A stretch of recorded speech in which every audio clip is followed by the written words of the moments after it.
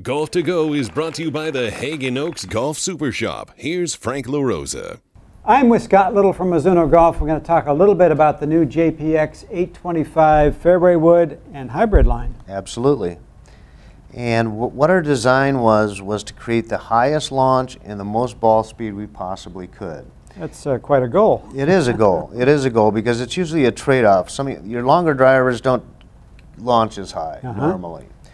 And uh, what we did is we use a Miraging stainless steel face. And believe it or not, this face is not just welded onto the shell. It's called an L-shaped face. So this down here is part of the face. Oh, wow. So it's welded here, which gives us extreme strength in the face that we're able to make thinner mm -hmm. for more ball speed across the entire face.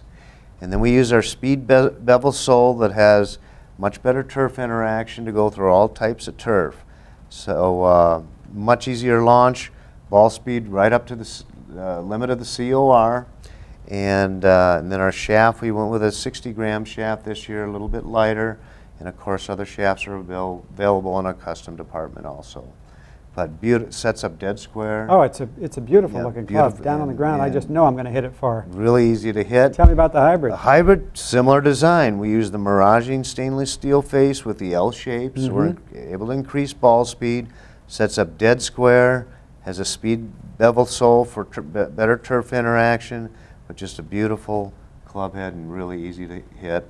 And again, we went with a lighter gram weight this year uh, just to help. This is, the JPX line has always been, gear, has been geared towards the average golfer, but mm -hmm. this mm-hmm. line of wood is actually for all levels of golfers.